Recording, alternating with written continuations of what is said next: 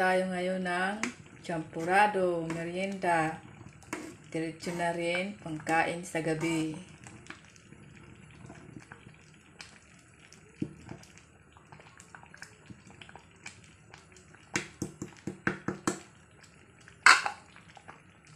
Ayan, magtutunaw na tayo ng kukwa.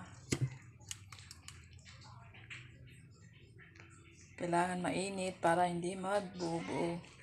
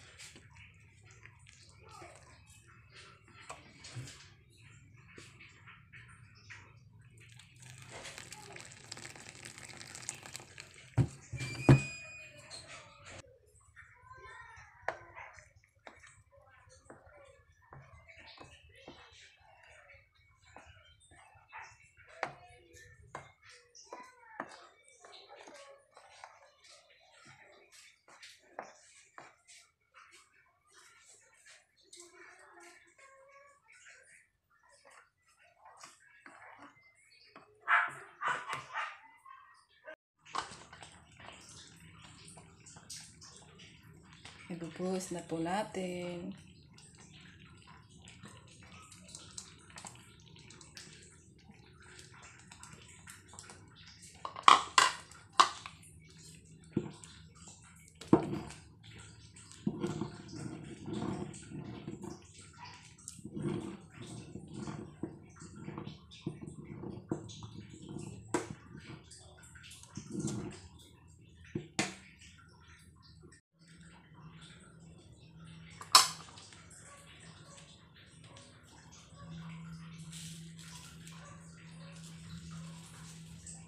Lagyan natin ng asukal.